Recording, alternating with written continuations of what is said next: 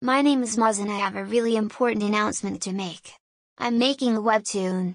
This April I will be releasing the prologue episode of a project I've been working really hard on called Dishonest Fate. It's a story about Saul and his backstory, you know, getting banished, going through trauma, finding himself in a new world, joining a defense and investigation group, trying to save the universe from his psycho dad, the usual kind of thing I make. So if you're interested stay tuned! I dropped the prologue on April 25th. Thanks for watching and I'll see you whenever the fuck I post next!